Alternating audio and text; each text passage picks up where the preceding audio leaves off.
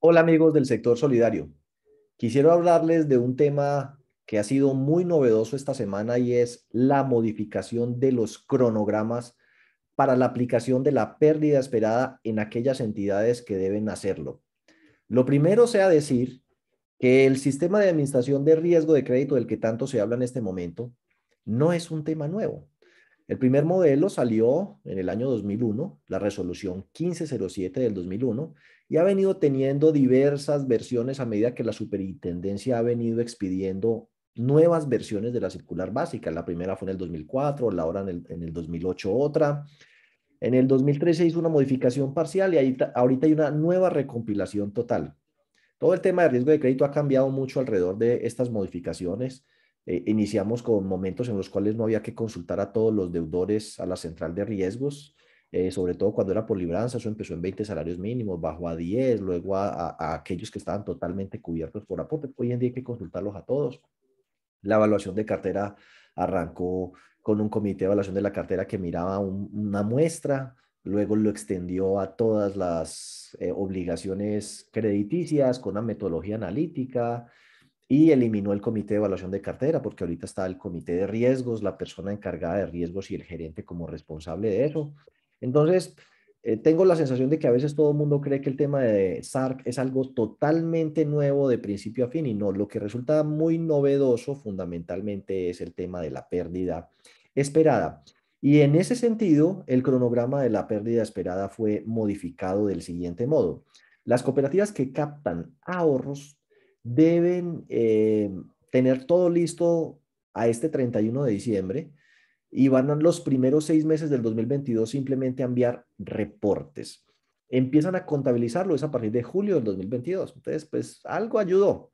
A las que definitivamente pues les cambió mucho el panorama son a las entidades de primer nivel de supervisión, porque aquellas que tengan más de 50 mil millones de cartera, les corrió la aplicación de la pérdida esperada hasta el año 2023 eh, aquellas que tienen menos de 50 mil millones de activos, pero son nivel 1 de supervisión, fondos de empleados o cooperativas, se los corrió hasta el año 2024 y los fondos de empleados de categoría plena es aquellos de más de 12 mil millones de activos, pero que no son de nivel 1 de supervisión, se las corrió hasta enero del 2025. Todo hay que decir allí que los gremios, especialmente ANALFE, tuvieron un papel protagónico y muy importante que hizo posible en esas mesas técnicas que la Supersolidaria aceptara el correr los plazos, pero además siguen trabajando en la búsqueda de que el modelo en sí mismo, por lo menos para los fondos de empleados, tenga modificaciones. Los demás riesgos siguen igual, todo el mundo tiene que tener SARLA funcionando, eh, los reportes los modificaron en su frecuencia y tipo, pero eso arranca también en el 2023, o sea que por lo menos hasta el 2022 todo sigue igual, excepto el de reporte de clientes exonerados que lo eliminaron. Los que tengan eh, ahorros tendrán que seguir con su tema de riesgo de liquidez, aunque allí hay toda una duda sobre los fondos de empleados que no son categoría plena, si deben o no tener comité de riesgo de liquidez.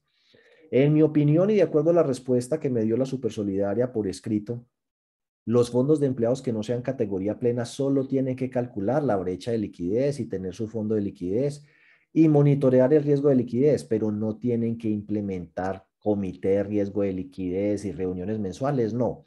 Para eso estaría ya el comité de riesgos. O sea que para un fondo de empleados que no sea categoría plena, eh, aparece el comité de riesgos que se va a reunir mensualmente, pero desaparece el comité de evaluación de la cartera y el comité de riesgo de liquidez. Riesgo operativo y riesgo de mercado, esos estándares que hay allí solo son para cooperativas con actividad financiera, lo que no significa que todas las entidades no deban monitorear el riesgo operativo y el riesgo de mercado con los indicadores y mecanismos que ellos mismos eh, definan. También vamos a modificar el plan de cuentas, en su momento eh, les hablaré de eso, y mientras tanto, sigan implementando los tres procesos, otorgamiento, seguimiento y recuperación, y las etapas de identificación, evaluación, medición, control y monitoreo del SARC. Lo único que corrieron fue el tema de la entrada en vigencia de la pérdida esperada. Todo lo demás debe estar listo al cierre de este año. Así que mi consejo, ya debería tener desde el primero de julio nombrado el Comité de Riesgos eh, y del CIAR, adaptar su matriz de riesgos SARC, donde uno diga identificación y evaluación del riesgo, cómo lo está controlando, cómo lo va a monitorear. Bueno, esa es la matriz reforme el reglamento y el manual del crédito, hay novedades en el tema de información que hay que entregarle a la gente, reestructuraciones que no, o refinanciaciones que no se consideran reestructuración, actualización eh, de garantías con el índice de valoración predial en el caso de los inmuebles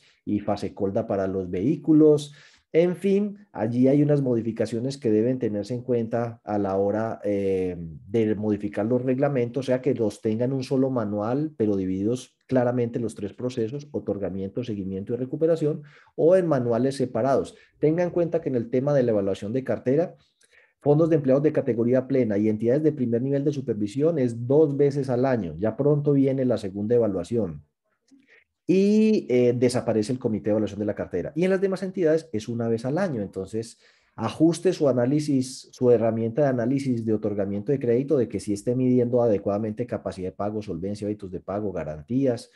Eh, recuerde que tiene que hacer un monitoreo mensual de la cartera con los indicadores que usted defina o utilizando las técnicas de cosecho matrices, que es un poquito complicado. Por ahorita podría iniciar con el tema de morosidad eh, ajuste la metodología de evaluación de la cartera y recuerde lo que les dije, que el tema de pérdida esperada lo corrieron. Espero que esta información les haya sido eh, de utilidad eh, y nos veremos en una próxima oportunidad.